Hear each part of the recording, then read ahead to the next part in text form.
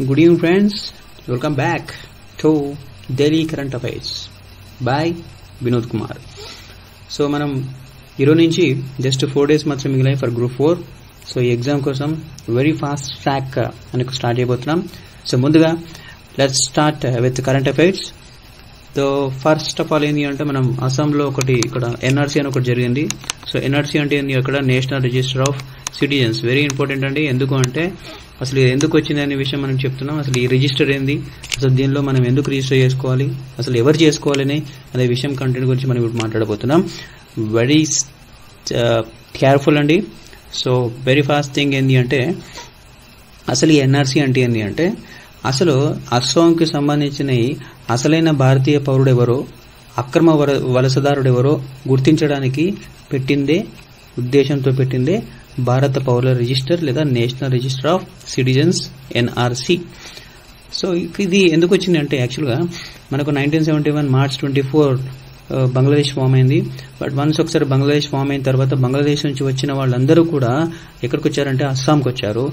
అస్సాంకి వచ్చిన బంగ్లాదేశ్ వాళ్ళందరూ అందరూ కూడా వీళ్ళందరి బంగ్లాదేశ్ మీన్ అస్సాంలో వాళ్ళ యొక్క భూమి కానీ ఉద్యోగాలు కానీ పోటీ పడి మరి వాళ్ళ యొక్క సంపదను కానీ దోచుకున్నారు అనే ఉద్దేశంతో వాళ్ళ సంస్కృతి కూడా నాశనం అవుతుందనే ఉద్దేశంతో అస్సాంలోని స్థానికులు ఆందోళన చేశారనమాట ఇది ఎప్పుడు విషయం అంటే నైన్టీన్ ఎయిటీస్లోనే స్టార్ట్ అయింది.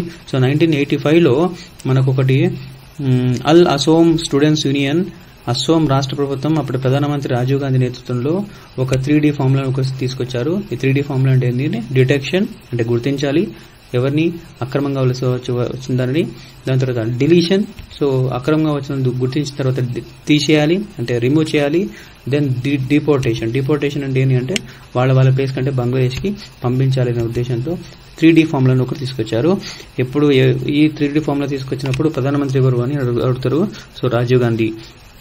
దీని తర్వాత మనకు అఫ్ కోర్స్ మనకు అంత తెలిసిన వస్తే nineteen seventy one March twenty ఫోర్లో బంగ్లాదేశ్ ఫామ్ అయింది. బంగ్లాదేశ్ నుంచి వచ్చిన వలసలందరూ కూడా అస్సాంలోకి వచ్చారనే విషయంలో దీన్ని చెప్పారు. సో దీని విషయంలో ఎన్ఆర్సీ ఒక స్టార్ట్ అయింది. టూ థౌజండ్ సెవెంటీన్లో ఫస్ట్ డ్రాఫ్ట్ ఇచ్చింది. Two thousand seventeen December thirty ఫస్ట్గా ఫస్ట్ డ్రాఫ్ట్ ఇచ్చింది దెన్ సెకండ్ డ్రాఫ్ట్ రీసెంట్గా ఇది ఆగస్టు కాదండి జూలై ఇది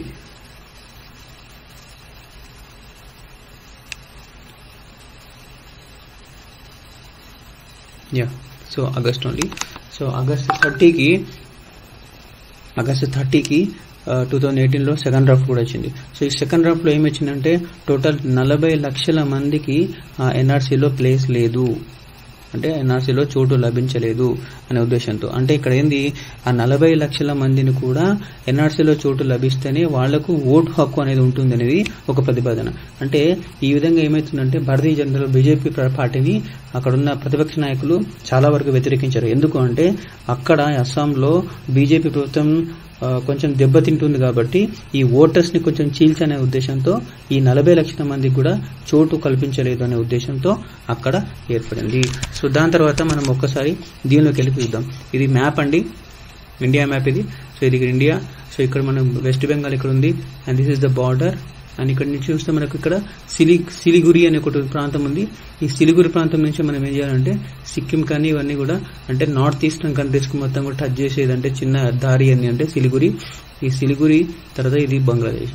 సో ఇక్కడ బంగ్లాదేశ్ నుంచి వచ్చిన వాళ్ళందరూ కూడా ఏం చేశారంటే అస్సాంలో స్థిరపడ్డారు. సో దీనికోసమని. సో మనం మ్యాప్ కూడా గుర్తుపెట్టుకోవాలి.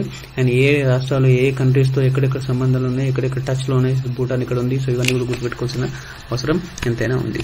దీని తర్వాత సో ఇంకొక very important current affair about Parker solar probe ఇదేంటి అంటే ఒక వ్యోమనౌక అండి. అంటే robotic వ్యోమనౌక means robotic space shuttle so దీన్ని uh, అక్కడ సూర్యుని దగ్గరికి సన్ దగ్గరికి పంపిస్తున్నారు because it has to be study on solar storm solar storm అంటే ఏంటి అంటే సౌర తుఫాన్ అంటారు కదా సో అది అనమాట సో దాని మీద స్టడీ చేయడానికి అని చెప్పేసి పార్కర్ సోలార్ ప్రోబ్ అనే ఒక షటిల్ పంపిస్తున్నారు. సో ఇది ఎక్కడి నుంచి పంపిస్తున్నారంటే Cape Canaveral Air Force Station in Florida. So ఫ్లోరిడాలోని Cape Canaveral నుంచి పంపిస్తున్నారు. సో ఏ రాకెట్ దీన్ని యూజ్ చేస్తున్నారంటే డెల్టా ఫోర్ అనే రాకెట్ యూజ్ చేసి దీన్ని పంపిస్తున్నారు అనమాట సో పంపించారు. సో దీది అనమాట దీని దీని యొక్క థీమ్ ఏంటి అంటే the study of solar storm. ఇది యాక్చువల్గా ఏంటి అంటే ఫోటోస్పేర్ అని కరోనా అని చాలా బాగా తర్వాత క్రోమోస్పేర్ అని ఈ విధంగా చాలా చాలా లేయర్స్ ఉన్నాయని మనకు తెలుసుకున్నాము. సో సూర్యునిలో ఉండే ఒక్కొక్క లేయర్లో ఒక్కొక్క ఉష్ణోగ్రత అంటే ఒక్కొక్క డిగ్రీ సెంటిగ్రేడ్ ఉంటుంది. సో ఆ డిగ్రీ సెంటిగ్రేడ్లో ఇప్పుడు థింగ్ ఏంటి అంటే ఫోటోస్పియర్లో మనకి సోలార్ స్టోమ్ చెప్పుకోవచ్చు. సూర్యుని ఉపరితలం పైన ఫోటోస్పియర్లు ఉంటుంది. ఈ ఫోటోస్పియర్లో యాక్చువల్గా ఐదు వేల ఐదు వందల డిగ్రీల సెంటిగ్రేడ్ ఉష్ణోగ్రత ఉంటుంది. బట్ దాని లోపల ఉన్న కరోనా కరోనా ఉంటుంది. ఆ కరోనాలో మాత్రం ముప్పై లక్షల డిగ్రీల సెంటిగ్రేడ్ వరకు ఉంటుంది. అంటే థింగ్ ఏంటి అంటే నిప్పుల కులం ఏదైతుందో దానికి దూరంగా జరిగే కొద్దీ వేడి తగ్గాలి యాక్చువల్గా. బట్ థింగ్ ఏంటి అంటే అందుకు భిన్నంగా సూర్యుడు ఉపరితలానికి దూరంగా ఉన్న కరోనా కరోనాలోనే ఎక్కువ ఉష్ణోగ్రత ఉండడం జరుగుతుంది. సో దీనికి విరుద్ధంగా భౌతిక శాస్త్ర ధర్మాలకు విరుద్ధంగా ఉంటుంది. సో కాబట్టి దీనికి మనకేం చేస్తున్నామంటే ఏదో ఒక మిస్ట్రీ ఉంటుంది. ఈ మిస్ట్రీని ఛేదించడానికి సోలార్ పార్కర్ అనే ఒక శాస్త్రవేత్త దీని యొక్క ఇది చేశారు అనమాట సో ఇది చూడండి ఒకసారి layers of this one so ఇది మొత్తం కూడా ఇది అనుకుంటే ఇది ఫోటోస్పేర్ అంటే ఉపరితలం ఉంటుంది. ఈ ఉపరితలం తర్వాత సన్ స్పాట్స్ తర్వాత ప్లేయర్ ఉంటుంది క్రోమోస్పేర్ ఉంటుంది. అంటే ఫోటోస్పేర్ ఉపరితలం ఉంటుంది ఆ క్రోమోస్పేర్ కొంచెం దాని కింద లేయర్ అనమాట సో కరోనా అనేది ఏంటంటే ఇంకా లోపల లేయర్ సో ఈ కరోనాలో ఉష్ణోగ్రత ఎక్కువ ఉంటుంది అనే ఉద్దేశంతో వీళ్ళు ఏం చేస్తారంటే ఇది ఎలా ఇది ఎందుకు ఎలా ఉంటుంది అనే ఉద్దేశంతో పార్కర్ సోలార్ ప్రోబ్ అని ఒకటి ప్రయోగం స్టార్ట్ చేశారు. అది విజయవంతం కూడా అయ్యింది. స్టార్ట్ చేసిన వారు ఎవరంటే నాసా వాళ్ళు. ఇది గుర్తుపెట్టుకున్న విషయం అనమాట సో ఇంకొక ముఖ్యమైన విషయం అండి. So very very important current affair again so దీని గురించి ఇదేంటి అంటే ఎన్సీబీసీ గురించి. ఎన్సీబీసీ అంటే ఏంటి national commission for backward caste so make national commission for backward caste అనేది ఉందో అంటే ఓబీసీసీ వీళ్ళందరి గురించి కూడా ఏర్పడిన కమిషన్ సో దీని గురించి ఏంటి అంటే యాక్చువల్ రీసెంట్గా వచ్చినది ఏంటి అంటే recently parliament has passed a bill called one twenty third constitution amendment bill so ఇదే ఇక్కడ ఏం ఏం చెప్తుంది అంటే ఇప్పటివరకు కూడా ఓబీసీకి రాజ్యాంగబద్ధము రాజ్యాంగ ప్రతిబద్ధ లేదు. అంటే it is not a constitutional thing so SC ST మాత్రమే కాన్స్టిట్యూషన్ అయిపోయినాయి. సో అంతవరకు ఏం చేసిండ్రు అంటే అప్పటికి ఎస్సీ ఎస్టీలు కాకుండా ఏదైనా సరే ఏదైనా వర్గానికి చెందిన ప్రజలు విద్యాపరంగా కానీ సామాజిక పరంగా కానీ వెనుకబడే కారణాలను పరిశీలించి తగిన ప్రమాణాలతో కొన్ని కొన్ని రీజన్స్తో వెనుకబడిన తరగతి జాబితాను తయారు చేయడానికి ఆర్టికల్ త్రీ ఫార్టీ చూడండి ఒక్కసారి చాలా ఇంపార్టెంట్ అండి. ఆర్టికల్ త్రీ ఫార్టీ ప్రకారము రాష్ట్రపతి ప్రెసిడెంట్ ఉన్నాడు.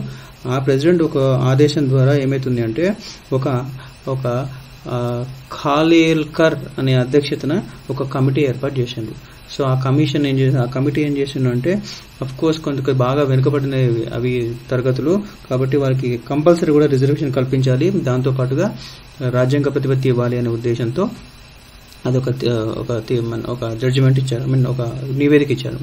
బట్ ఆ నివేదిక ఏమైతుంది? నివేదికను కేంద్రం ఏం చేసిందంటే తిరస్కరించింది ఆ టైంలో దాని తర్వాత జనతా ప్రభుత్వం వచ్చిన తర్వాత నైన్టీన్ సెవెంటీ ఎయిట్లో బీపీ మండల్ కమిషన్ ఒకటి స్టార్ట్ చేసింది.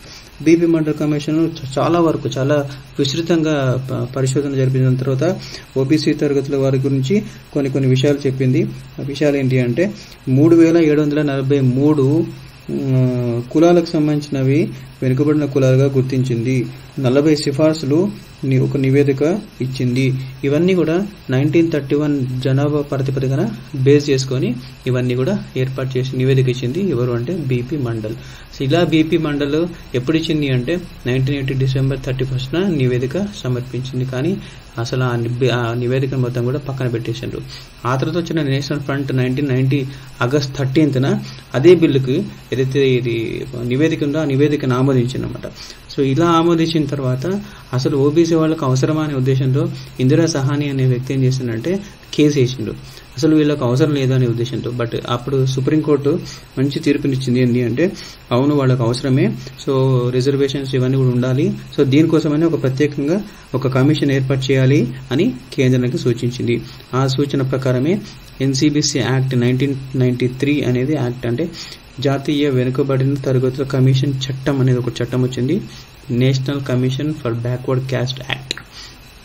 So ఇది నైన్టీన్ నైన్టీ త్రీలో వచ్చింది. నైన్టీన్ నైన్టీ త్రీ ఆగస్టు ఫోర్టీన్త్న దాన్ని స్టార్ట్ చేశారు. ఇది సో దీని కొన్ని దీనికోసం అన్ని ఇంకొకటి ఏంటంటే జస్టిస్ రోహిణి కమిటీ అని ఒకటి ఇంపార్టెంట్ అండి ఎన్సీబీసీ రిలేటెడ్ ఇది కూడా. సో రోహిణి కమిటీ ఏం చేసిందంటే ఓబీసీలో యాక్చువల్గా కేంద్ర జాబితాలో ఉన్న కొన్ని కులాల వారికి మాత్రమే రిజర్వేషన్ అనేది కల్పిస్తున్నారు. సో మిగతా అన్ని కులాలకు మాత్రం అంటే ఉపకులాలకు కానీ వాటి వాటికి కల్పించట్లేదు అనే ఉద్దేశంతో జస్టిస్ రోహిణి కమిటీ అనేది ఒకటి టూ థౌజండ్ సెవెంటీన్ అక్టోబర్లోనే ఏర్పాటు చేశారు. సో ఇది ఒకవేళ ఇప్పుడు ఆల్రెడీ దీనికి రాజ్యాంగ ప్రతిపత్తి వచ్చేలాగా ఉంది కాబట్టి జస్ట్ ఇక్కడ ఏమవుతుందంటే ఫస్ట్ డ్రాఫ్ట్ ఒక బిల్ అనేది టూ థౌజండ్ సెవెంటీన్ ఏప్రిల్ టెన్త్లో లోక్సభ ఆమోదించింది. కానీ రాజ్యసభ కొన్ని కొన్ని సవరణలు చేసి ఆ బిల్లుని మళ్ళీ తిరిగి పంపించింది. ఇప్పుడు ఒక క్వశ్చన్ ఏంటి అంటే రాజ్యసభ ఈ విధంగా చేయడానికి దానికి ఆస్కారం అంటే అథారిటీ ఉంటుందా అంటే ఎస్ ఉంటుంది. ఇక థింగ్ ఏంటి అంటే రాజ్యసభకు ఒక మనీ బిల్కి తప్ప మిగతా ఏ బిల్లుకైనా సరే ఒక చిన్న చిన్న సవరణ చేసి లోక్సభకు పంపించే అధికారం ఉంది. కాబట్టి ఇది ఏం చేసింటే పంపించేసింది. దాని తర్వాత మళ్ళీ టూ థౌజండ్ ఎయిటీన్లో ఆగస్టు మొన్న సెకండ్కి మళ్ళీ అగైన్ బిల్ ఏం చేసిందంటే ఏకగ్రీవంగా ఎన్నుకొని మళ్ళీ రాజ్యసభకు పంపించింది. రాజ్యసభ కొన్ని అప్పుడు చిన్న చిన్న సవరణలు తీసుకున్న సవరణలు కూడా మొత్తం కూడా దీన్ని ఓకే చేసింది. So eighteen two thousand eighteen August సిక్స్న Rajya Sabha కూడా ఓకే చేసింది. ఇప్పుడు ఏంటి అంటే ప్రెసిడెంట్ కోసం వెయిట్ చేసింది వన్స్ ఒకసారి ప్రెసిడెంట్ రాష్ట్రపతి ఆ చట్టం ఐ మీన్ ఆ బిల్ మీద కన్నా సిగ్నేచర్ చేసింది అంటే అది కంపల్సరీ కూడా యాక్ట్ అయిపోతుంది. అంటే ఒక చట్ట రూపం దాలుస్తుంది అనే విషయాన్ని మనం ఇక్కడ గమనించాలి.